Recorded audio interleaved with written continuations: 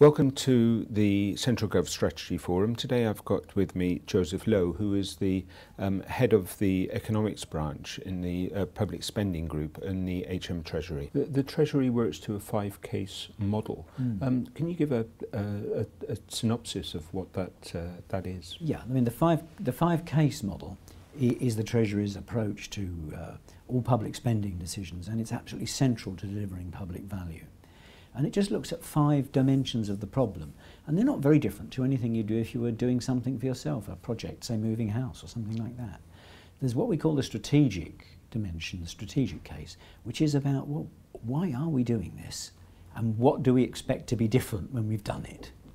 And will it affect anything else that we're doing? And you know, if you were moving house, you'd want to know those things.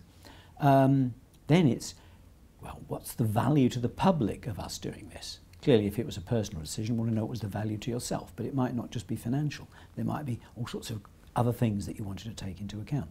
We try to quantify as far as we can public value to make it easy to compare one thing with another. But we recognise we can't fully always do that, and we take qualitative things into account as well. So we look at public value in our so-called economic case. But it's not just about economics.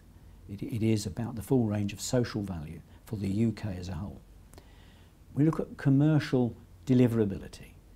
Can we actually buy the services and the goods that we need from the private sector to deliver this public service, this public good? It's absolutely no good if we've dreamt up something which doesn't exist, can't be created, we can't buy it, we can't deliver it. That's the third thing. The fourth thing is can we afford it? Where will the money come from? Very important. That's the budget constraint that we operate within. And fifthly, it's how can we deliver this? Is it actually workable and feasible?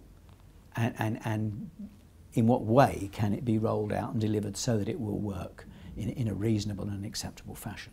If you can answer all those five questions, then you have a, a chance that you might be not wasting money and delivering public value. And if you can't, well, there's a serious problem, and you've got to say why. Do we want to proceed? Do we want to make a change? What is it we want to do?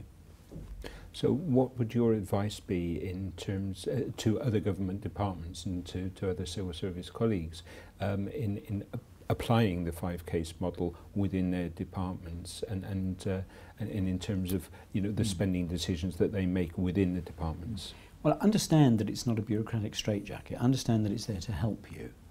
Um, it's not just a hurdle you overcome. It's about a thinking process that you go through. It's about business planning.